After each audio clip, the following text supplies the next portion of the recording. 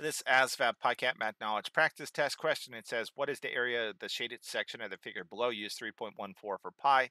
So clearly to find the area of the shaded section, we're going to do the area of the square minus the area of the circle. To find the area of a square, it's going to be side length squared. Area of a circle is pi r squared. Thankfully enough, we have those things. Uh, we know the side length of our square is 4, so this is 4 squared minus 3.14 uh, times the radius, which is right here. It's 2 squared. This becomes 16 minus, um, 3.14 times 4. I'm going to do this off to the side very quickly. 3.14 times 4. Move our two decimals to the right to make this 314 times 4. This is 16, carry a 1, 5, 12. Bring our two decimals back in. This is 16 minus 12, 56, uh, which if you do it mentally is going to be 3.44 inches squared.